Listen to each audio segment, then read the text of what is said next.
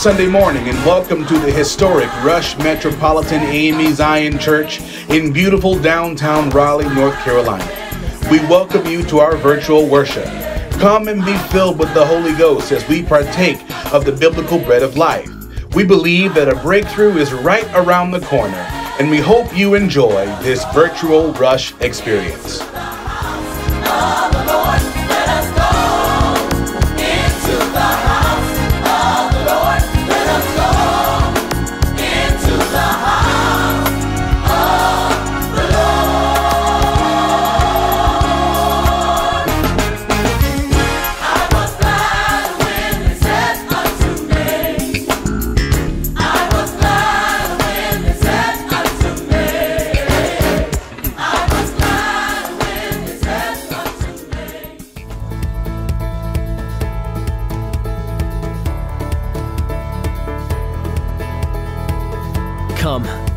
Sing for the joy of the Lord.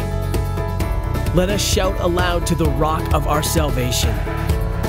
Let us come before him with thanksgiving and extol him with music and song. For the Lord is the great God, the great King above all gods. In his hand are the depths of the earth, and the mountain peaks belong to him.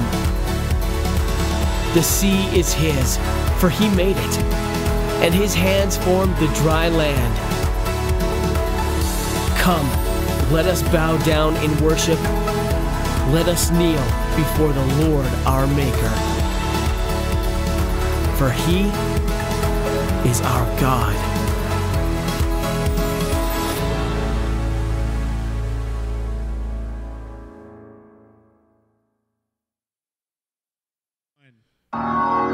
The Lord, Rush. This is the day that the Lord has made, and we will rejoice and be glad in it. I was so glad when they said unto me, Come, let us go into the house of the Lord, because I want my feet to stand before thy gates, O Jerusalem.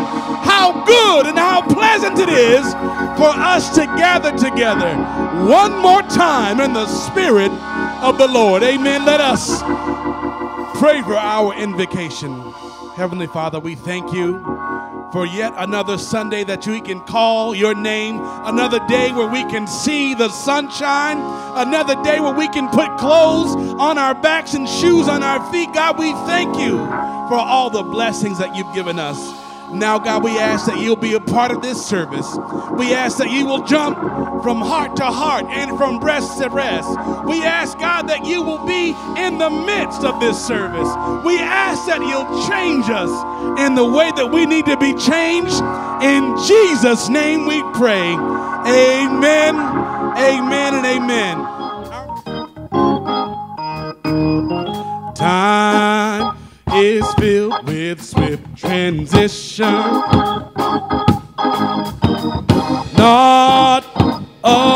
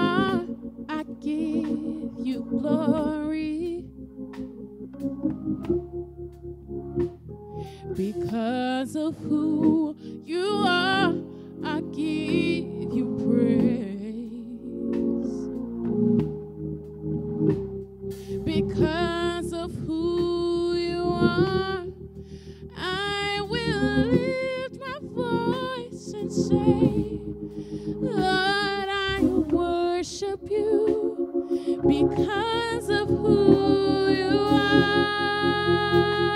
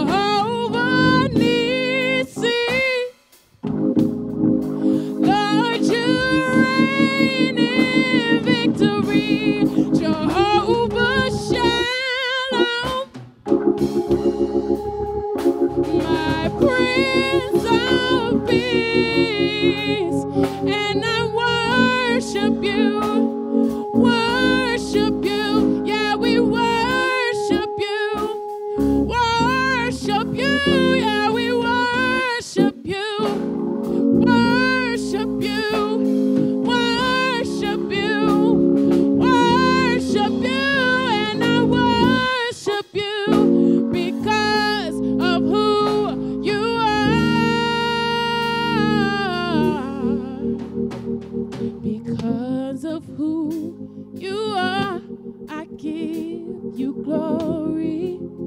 If you haven't said this today, take a moment.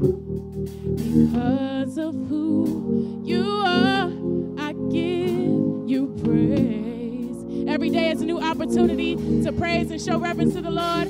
Because of who you are, I will lift my voice.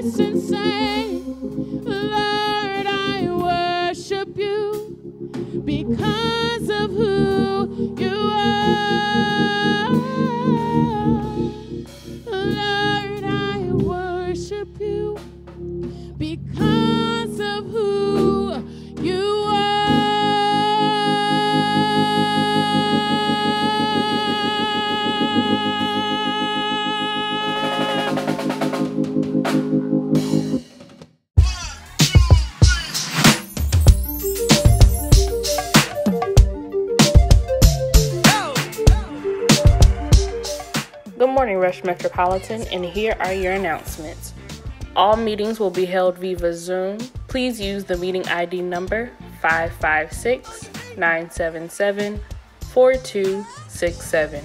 You can also use the conference call number 1 929 205 6099. On Tuesday at 11 a.m. is our Tuesday morning Bible study call that will take place via conference call. On Thursday at noon is our prayer call, and the Deaconess Board will lead us in prayer. Due to the coronavirus, office hours have been reduced. A mobile office number has been created for the church. The number is 919 822 2174. Please know that we are doing everything we can to stay connected to meet the needs of the congregation. This concludes your morning announcements. Have a great Sunday.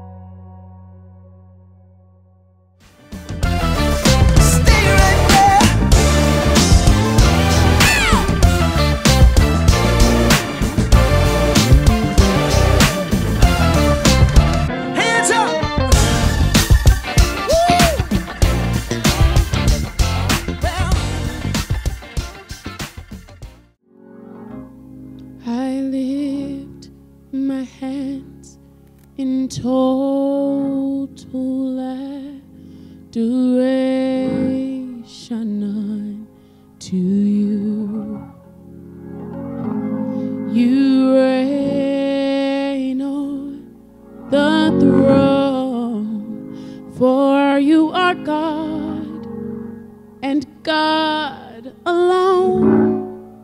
Because of you, my cloudy days are gone. I can sing to you this song. I just want to say that I love you more than anything.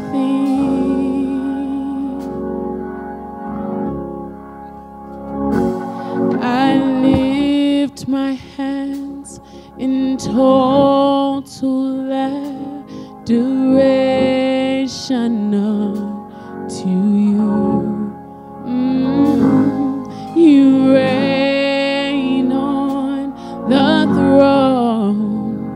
for you are God and God alone.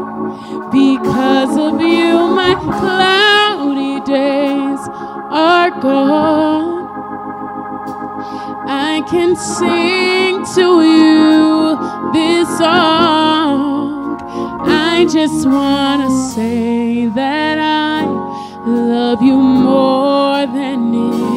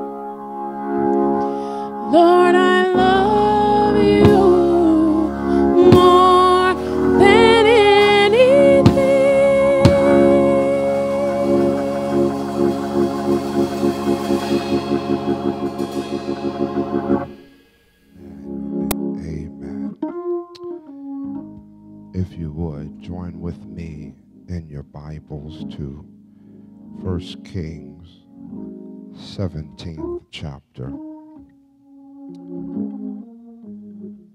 verse 24.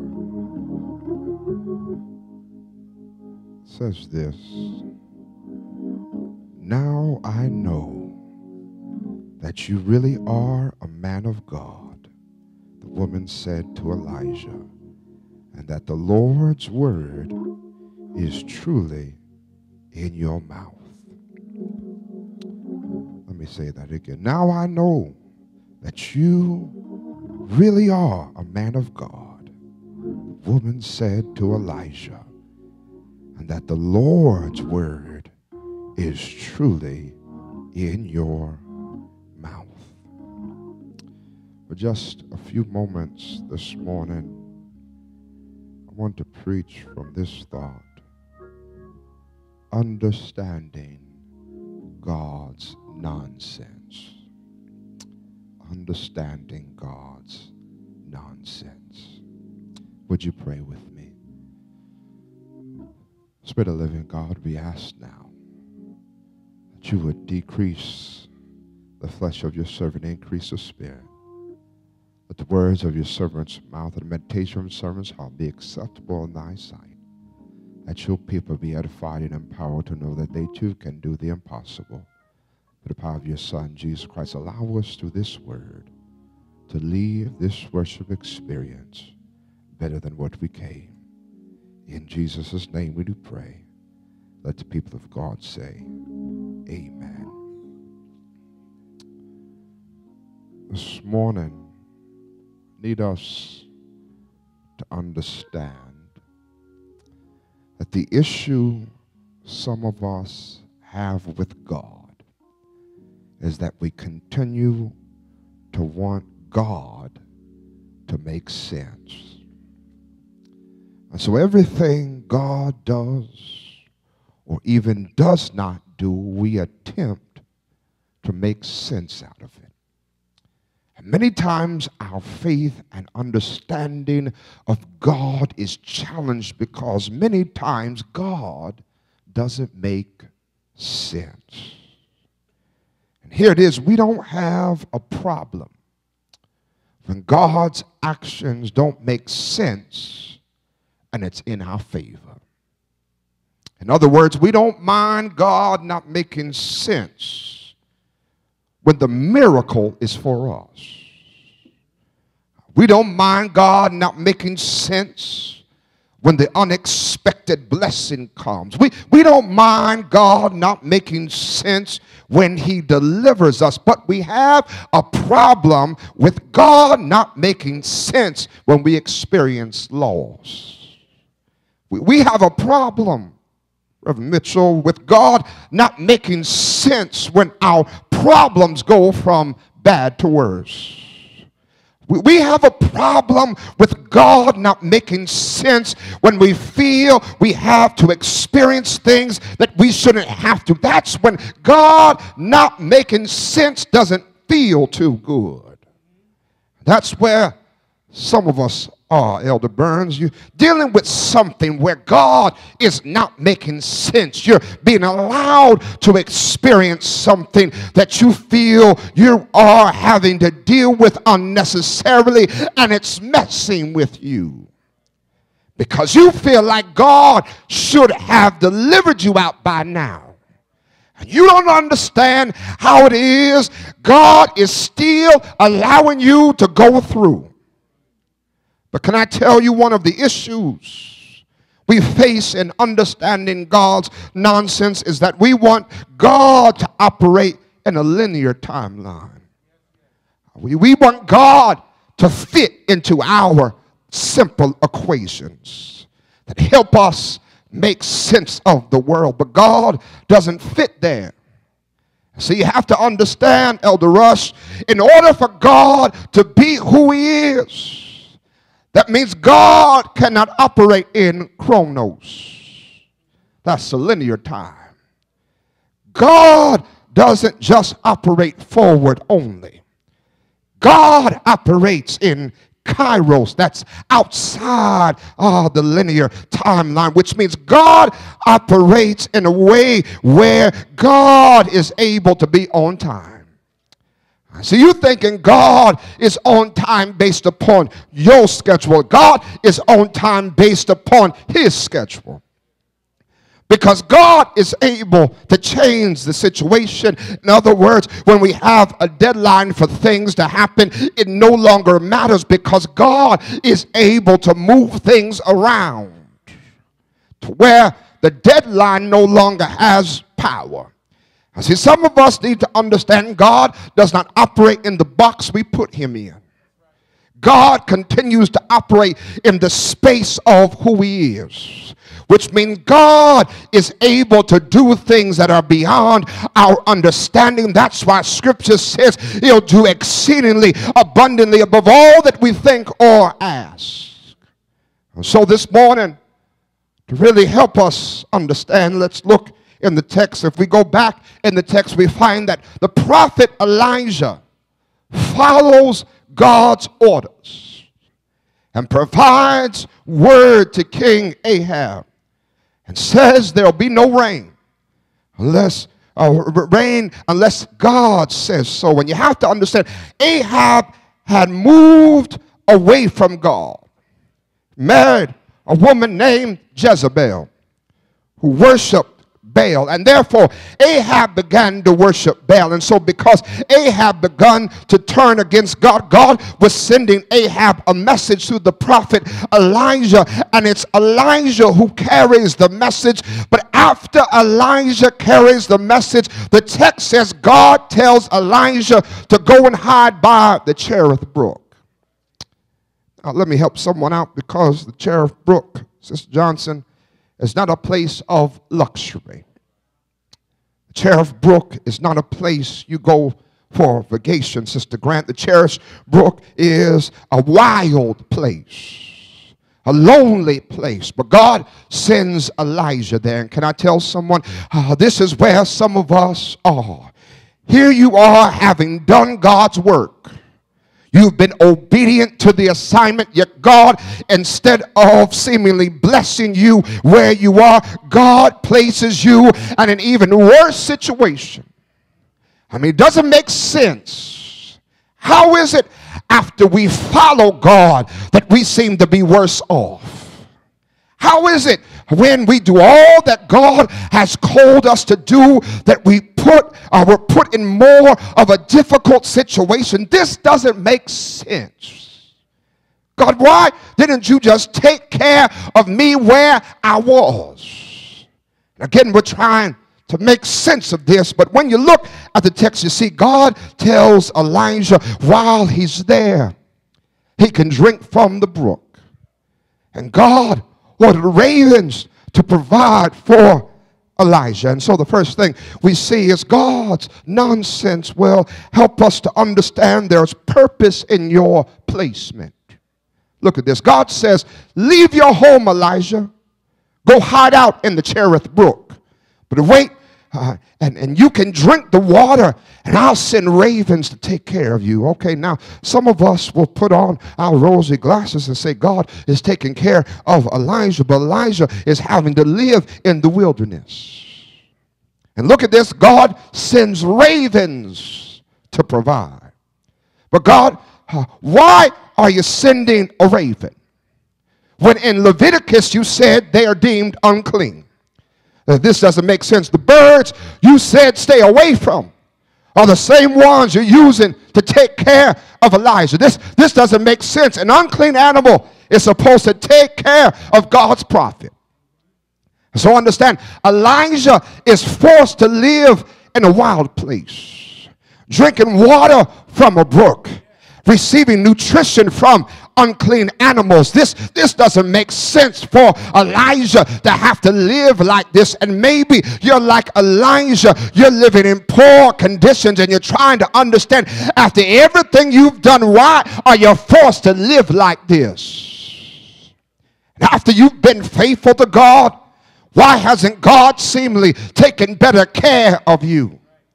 But look at this. Can I tell you, things get worse because, listen, Elijah has to stay at the brook being fed by unclean ravens, but then the brook dried up. Wait a minute. God sent Elijah to a place where the very thing God said he could use dried up. God sent Elijah to the wild, said he could drink from the brook, and the brook dried up. Someone needs to hear me. This doesn't make sense. God, how is it the thing you said I could have is no longer? God, how is it the place you sent me was already bad, but things got worse? And again, this is after Elijah has done what the Lord told him to do. And this is why some of us stop fooling with God because you can't make sense of a God who puts you in bad conditions and then allows things to get worse. But I want to help us on today because again, you're trying to make sense of everything. Let me let me help you see something. The reason God sent Elijah to the Cherith Brook was not to punish Elijah, but it was to preserve Elijah because it was there that no one could find him. The Cherith Brook provided covering for Elijah. And some of us don't understand. God sent you to a place to preserve you. Because if Elijah would have stayed where he was, he would have been killed by Ahab. But Elijah was sent to a place where God could preserve him. And someone needs to hear me. Stop Every time God places you in a situation that's uncomfortable, thinking God's abandoned you, sometimes God's trying to preserve you. God has a reason for you to be there. Can I tell you, the place may not be luxurious. The place may not be glamorous and may not be much at all, but there is a purpose for your placement. And catch this while Elijah is there, he doesn't lack anything. He doesn't go hungry for those who are mad with God because of where you've been placed. I wonder, have you stopped to pay attention to the reality that God has still taken care of you? I know it's the place you didn't want to be, but I wonder if you stop to realize realize uh, that even in that place, God still has blessed you. Look at the text. It doesn't say why Elijah is in the place that he gets weak. It doesn't say while Elijah is at the Cherith Brook, he gets sick. Someone needs to hear this. It doesn't say while Elijah is there, he loses his mind. No, because while he's there, God is still taking care of Elijah. And some of us are trying to make sense of the place God sent you instead of just letting God be God. Because listen, wherever you are, God will take care of you. Someone needs to hear me. You never have to make sense sense uh, of where God places you uh, because He'll take care of you. Uh, and I just want to encourage someone today in the place God has kept you, He will take care of you. I know someone saying, Well, how is it God took care of Elijah when the brook dried up? Well, the text says when the brook dried up, God tells Elijah to move. And can I tell you, someone needs to understand because uh, they're trying to make sense of the fact uh, uh that where you are uh, is just like the brook, it's dried up, and you are mad with God because it seems like God is not replenishing where you are. But listen, the reason God is not replenishing is because God is getting you ready to move. And it's so God is not putting you uh, in a place uh, where he's going to hurt you. Uh, but God is putting you in a place where he can get you ready to go. I came to tell somebody, I know it seems like things have dried up around you, but that's a sign that God's getting ready to do something. Because if God sent you there, don't you know that God has a plan for you? And if God has a plan for you, Jeremiah reminds us he's got plans for you to prosper. I need somebody to understand that God's plan wasn't to hurt you.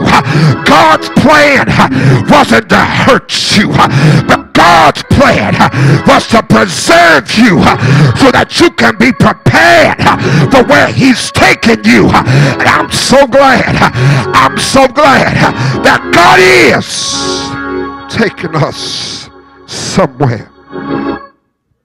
But listen, not only do we see there's purpose in your placement, but then you got to understand when you're trying to make sense out of God's nonsense, it's purposeful and not personal. Look at the text. God tells Elijah to go to Zarephath. And he says this time, God has ordered a widow to take care of him. So God tells Elijah to leave the wild place and go back to civilization. It seems like things are going to get better for Elijah. At least he's been sent to a place where there are people and resources, and God has ordered someone to take care of him. This looked promising, and Elijah gets to town and he sees this widow and he asks her for something to drink. And she provides Elijah with something to drink. But then Elijah takes it a step further and asks her for something to eat. And she says she doesn't have anything to give. Matter of fact, the widow tells Elijah she's getting ready to eat what she has and prepare to die. Someone needs to hear me. This doesn't make sense. God sent Elijah to a place where he's told he will be taken care of. And the woman who's been given the assignment to take care of Elijah has nothing to offer him. Matter of fact, she doesn't even seem aware of the assignment from God because she has not come prepared to take care of Elijah. She's preparing to die. This doesn't make sense for Elijah to have to travel all the way to Zarephath for seemingly nothing. And some of us are trying to make sense of why God told us things would happen that didn't seem to happen. God said things were going to be better, and it seems like they're the same. But the reason it doesn't make sense is because we sometimes rush God. When sometimes we got to learn to just wait on God. Sometimes God isn't just going to move real quick. Sometimes we got to sit and wait on God to move. And the problem is, some of us, we don't like to wait. We're impatient.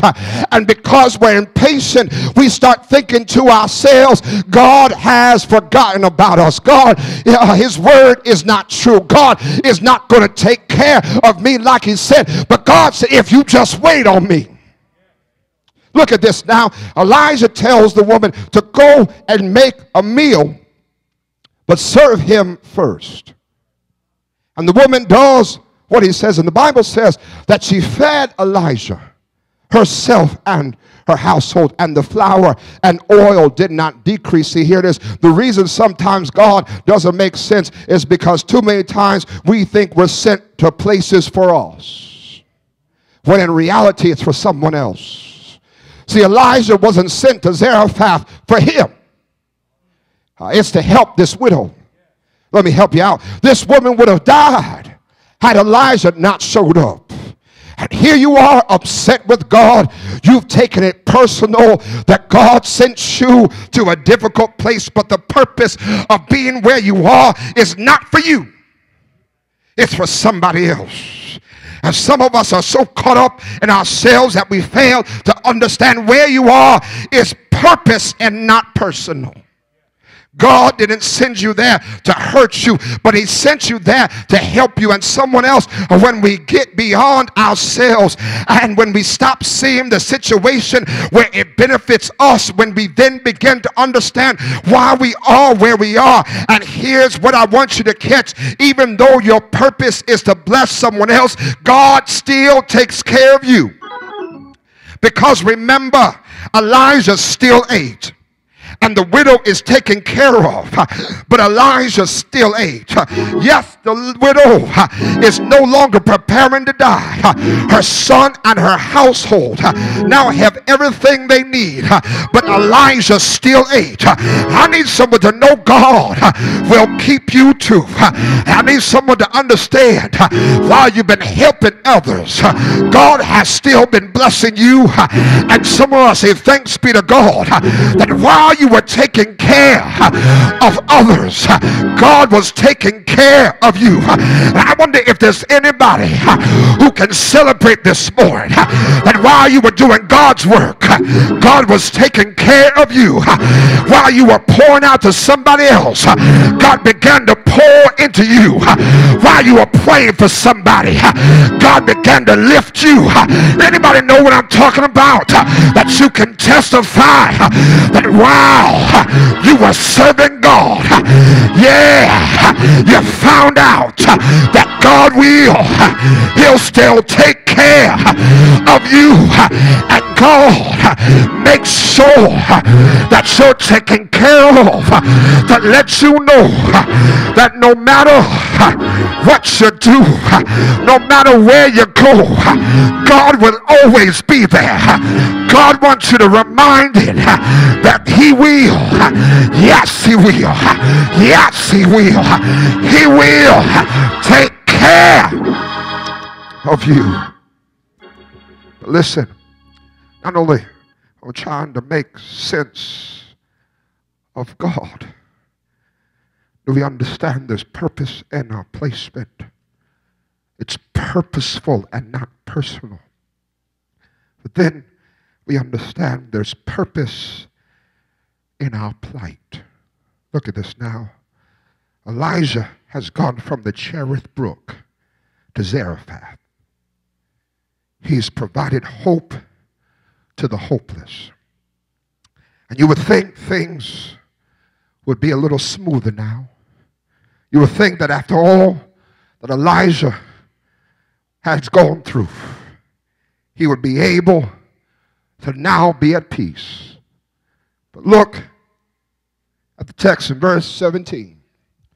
We see the widow's son gets sick. And the son gets so sick, Bible says he stops breathing. With Austin, and the widow goes to Elijah and basically asks him, What has she done wrong? How has she offended Elijah to the point where her son is now on his deathbed? Here we go again. This, this doesn't make sense. How is it this woman who was doing what God called her to do, take care of Elijah, and yet her son is dying? Brother McCall, I mean, if God wanted her son to die, Why give them hope by providing them resources? She was ready to die with her son, but then God provides the resources for them to live. But now her son is back in a position to die. Someone needs to hear me. It doesn't make sense. But look at the text. Elijah said, Give me the boy. And Elijah took the boy to the upper room. He laid him on his bed. And Elijah began to have a talk with God. He said, Why is it that you brought such evil upon the widow that I'm staying with by killing her son? And then he proceeds to stretch himself over the little boy's body. He stretches himself out one time. He stretches himself out two times. And the Bible says he stretches himself out a third time. Each time he stretches out, he calls on God, asking God to give the boy's life back. And the Bible says the Lord listened, and the boy lived. He brings the boy downstairs. He gives him to his mother. And the widow says to Elijah, Now I know that you really are a man of God and that the Lord's word is truly in your mouth. All right, can I tell you there's purpose in your plight? This woman got to witness God's power a second time, and it's the second time that makes her a believer.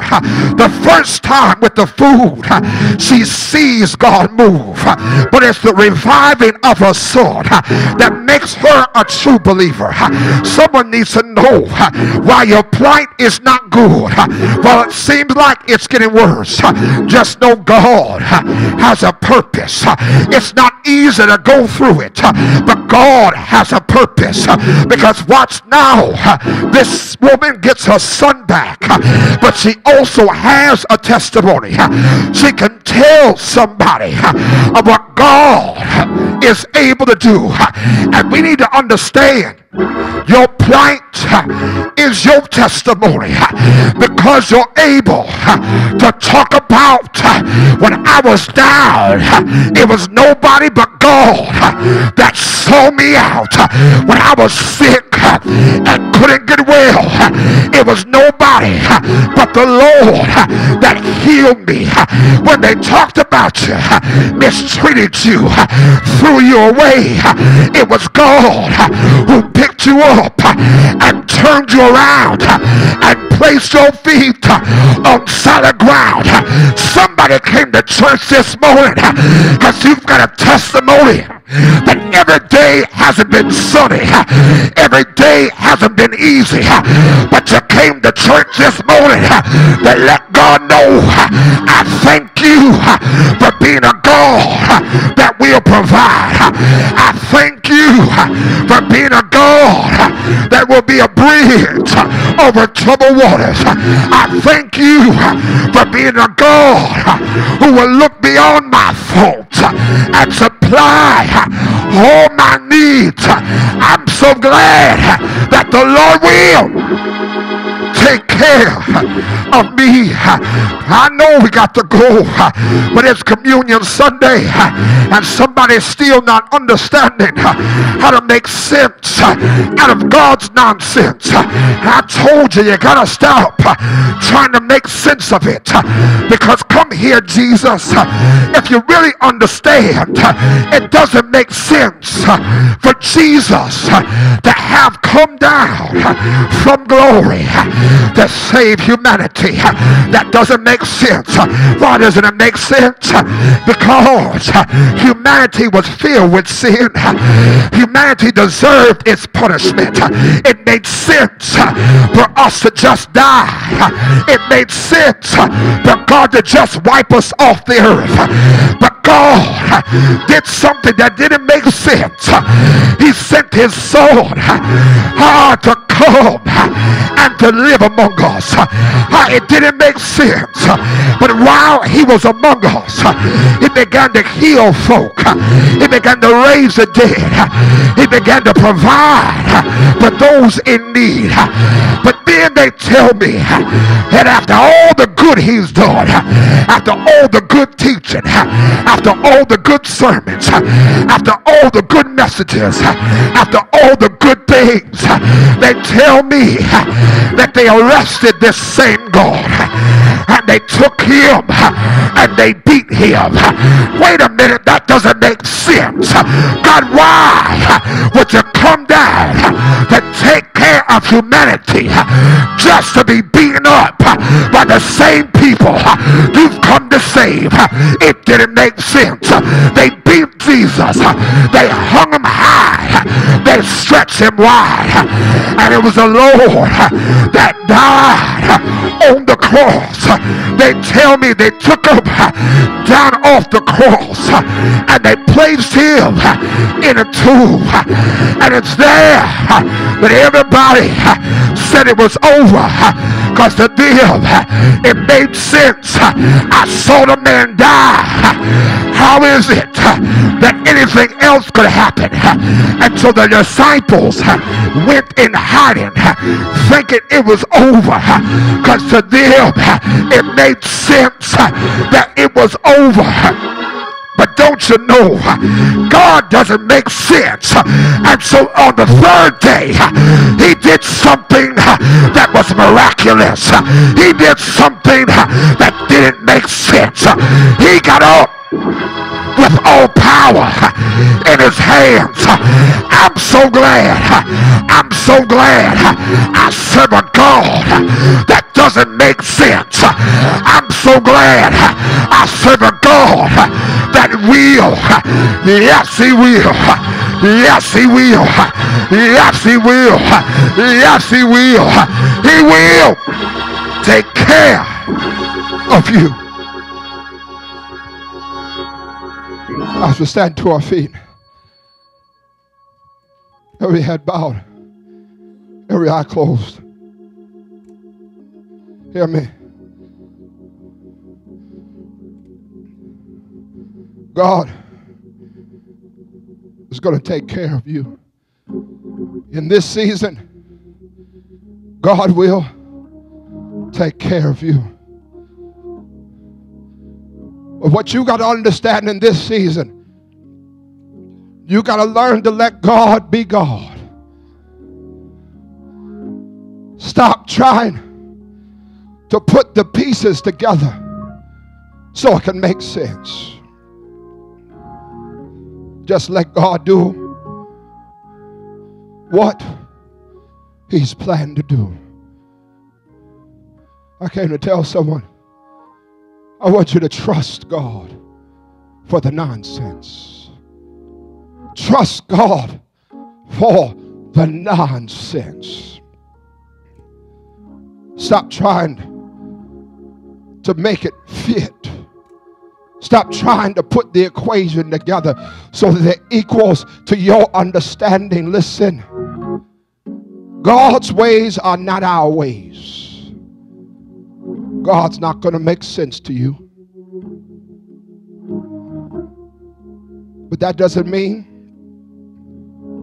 He's finished with you. And this morning, I want you, you find yourself in a place of difficulty, I want you to just tell God, God, I trust you in this season. It does not make sense to me I don't understand it all. But what I do understand is you're present, you're powerful, and you have purpose. So, Lord, this morning, I just want you to trust God, trust Him in these times. So much is happening all around this country, around the world. Decisions are being made. things are being allowed to happen. Justice seems to be injustice. People seem to be getting away with destructive behavior. Stop making sense. Listen, trust God. Trust God in this season. And this morning, I want you to first begin to pray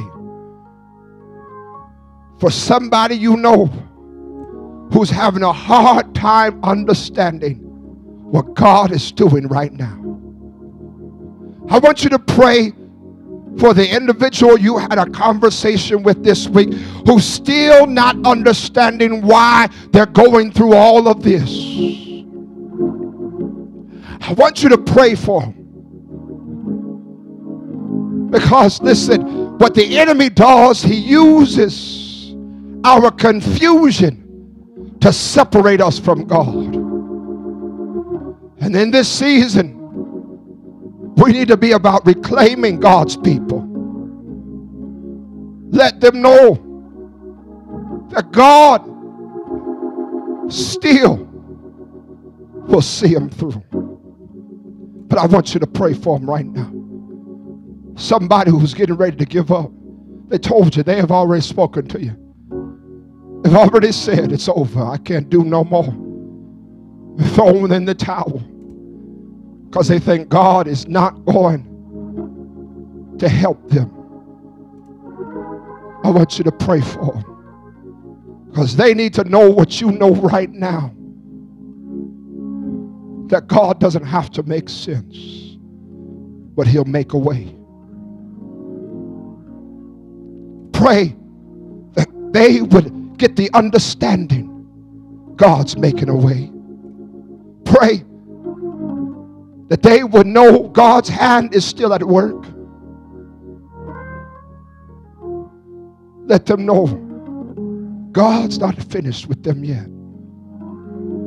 I want you to pray for them. I want you to pray for them.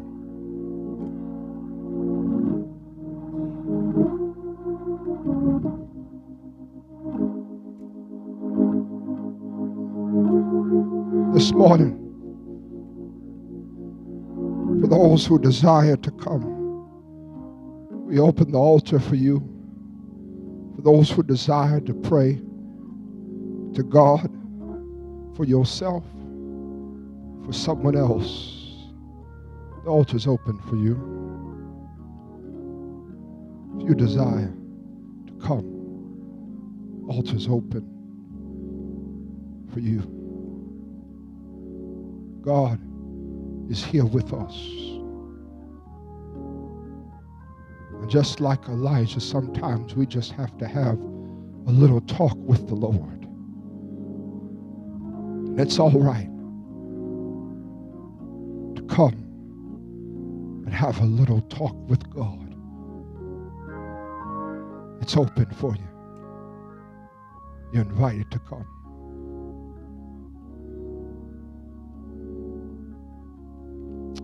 Let us pray. Spirit of living God, we say thank you. God, thank you for taking the burden off of us. We've been burdened down so long because we've been trying to make sense of it all. We've been so confused. We've gotten so lost and upset because we've been trying to make sense of you. God, thank you for releasing us of believing you have to make sense. But we can just trust you for who you are. So, God, thank you for releasing us and just allowing us to experience who you are freely. God, we just say to you this morning, God, however you're going to move, just do it. doesn't have to make sense, doesn't have to be the way everybody thinks it should. God, we just want you to be who you are and do what only you can do. God, we thank you this morning. We thank you because in all your ways, you're still working on our behalf. And God, we have to be honest this morning and really say, God, we don't deserve it. We don't deserve anything from your hand. But God, thank you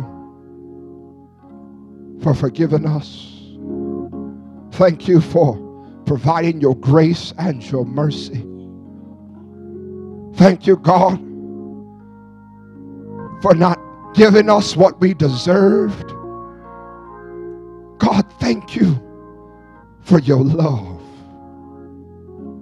And God, help us to display the same love you've given to us. God, help us to understand love should be unconditional because you didn't put conditions on your love. Through the good and yes, the bad, you still love us. When we do good, and when we do wrong, you still love us. God, we thank you this morning for being who you are and just being with us. Thank you for the moments that you dwelt with us when we felt like giving up. Thank you for the times you were with us and you gave us a word to lift our spirits. God, thank you even the times where you sent us to difficult places and it's in those places we got to see you or fully and wholly. And we thank you, God, because it's in those times we really got to understand who you are. So, God, we're celebrating you today. But we're praying for the people who you sent to places of difficulty to preserve them. God, we thank you because just like Elijah, you're getting ready to send them out. Well, so, God, thank you for preserving them. Thank you for strengthening your people. Thank you for providing for them because they're getting ready. And where they're going next, they need that strength. Where they're going next, they need the endurance. And so, God, we're thankful for what you're doing right now. We pray, Lord, that you would just be with us as we continue to serve you. And God, we don't want to close this moment without providing the opportunity for people to be able to have a relationship with you. So if you're here this morning and you don't have a relationship with Jesus, just lift your hand to the Lord. There may be someone this morning doesn't have a church home. And so this morning we invite you to be a part of Rush. If that's you, just lift your hand to the Lord. Lord, again, we say thank you. We'll magnify your holy name. And Lord, we're just celebrating right now because we know that while we're going through, we can still have joy. We have joy because we have you. And so, Lord, remind us every day we can still have joy. In Jesus' name we do pray. Let the people of God say, Amen. Amen. You may be seated in the presence of our God. When we do the Apostles' Creed, I want you to make sure after we close out this service, please smash that Zoom link so that you can be enrolled in our Sunday Morning Academy. You can join our scholars as they learn more about the Word.